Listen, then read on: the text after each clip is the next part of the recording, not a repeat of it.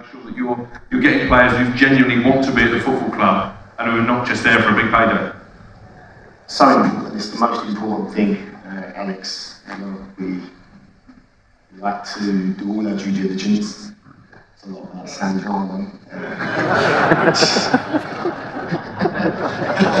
this is in my document. No, but in terms of character, that's that's the number one thing.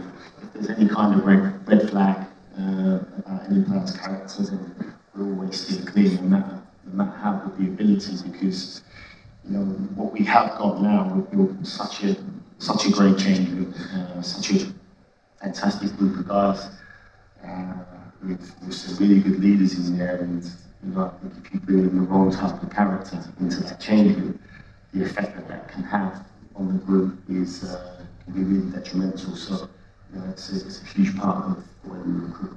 And with that in mind, how important was the, the signing of Kieran Trippier, England international, someone who'd gone deep into World Cups and European Championships, got that Champions League experience? That felt like a, a statement signing, but as much about his mentality as about the fact that you were signing a player with that kind of CV? Yeah, I think Kieran was probably the first real statement signing that we made uh, at the time, where we was uh, in the league, and you know there was, there was a lot of talk and about relegation.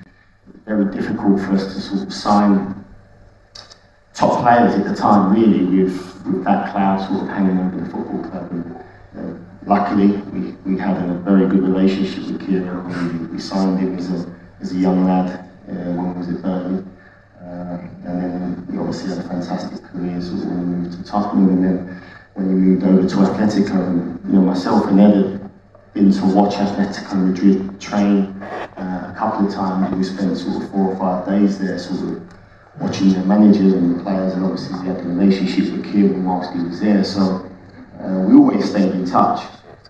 And you know, it was funny actually. We was the story. We was in Madrid. Uh, it was about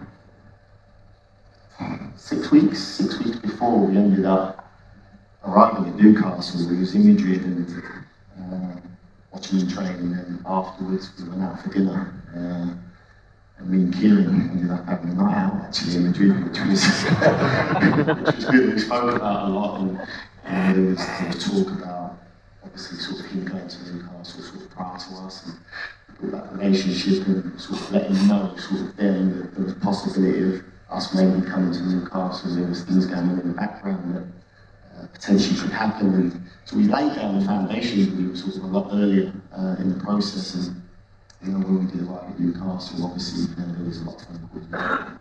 Uh, you know, his, his mentality, his attitude towards coming uh, was exceptional. Uh, he says, yeah, do you know what, I want to come, I want to really try and help the football club. Uh, you know, stay in the football, you know, stay in the league, and I can help you guys and help the team, then, you know, that means more to me and my family and come back. And, and I think off the back of Kieran, uh, you know, sort of enabled us to sign sort of other top quality players. Obviously, Bruno was, a fantastic signing for us as well at the time. So uh, he was the first real statement signing. But not only is he a fantastic player, he's a great leader. He's very, very professional in his work, and he does everything. He does everything right. He's the first one in every day, probably one of the last ones to leave. So. Uh, I think when you bring players like him, not only are they top, top players on the pitch, uh, the, the professionalism and the leadership sort of around uh, the training ground sort of goes a long way to building the culture that we built